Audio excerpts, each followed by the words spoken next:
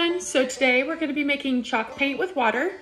So what you need is chalk, um, a grater, preferably one you don't cook with. I'm grating it onto a plate, plate but you'll transfer um, the little um, powder into a bowl and then you'll need half a cup of water um, or just a little bit, it doesn't have to be half. Um, just a little bit of water to mix with the paint and then a paintbrush and um, some construction paper uh, to paint your picture on. So we're gonna just continue grating the chalk onto the plate.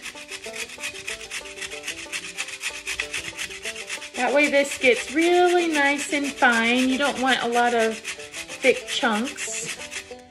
Okay, and then you can kind of like tap it to get any excess little powder off.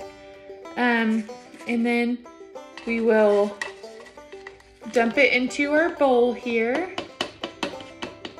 And then I'm gonna move this over. Then we will get, um, so I've poured it into my bowl.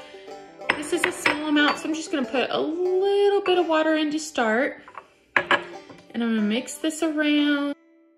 Yeah, and it's kind of created a little bit of a thick um, little texture here. So then um, all you have to do next is get your construction paper and just paint something fun. I'm gonna do a little heart. Um, and it might look like it's kind of watercolor um, type, but that's okay.